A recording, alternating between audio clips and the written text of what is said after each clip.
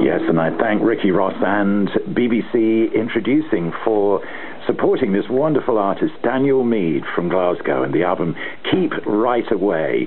And the track there was called Sometimes a Fool's the Last to Know.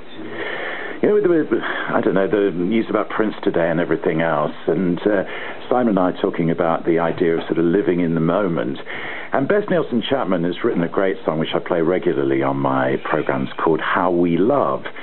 And uh, I think the whole idea of the kind of footprint that we leave in this world is very important. It's worth one worth kind of exploring in many ways. And a person who reflects the good side of life is Lori McKenna through her writing and